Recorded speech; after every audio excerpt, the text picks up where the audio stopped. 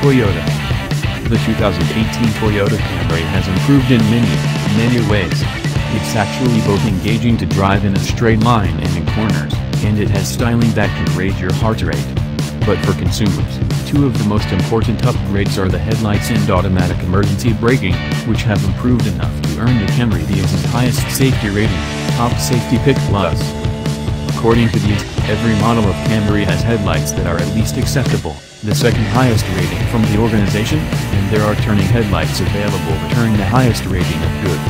This is a significant improvement over the previous generation, which had four variations of headlights, only one of which was rated acceptable. Another set was rated marginal, and two sets of LED lights were rated poor. The front crash prevention system was significantly improved as well, moving up to a superior rating.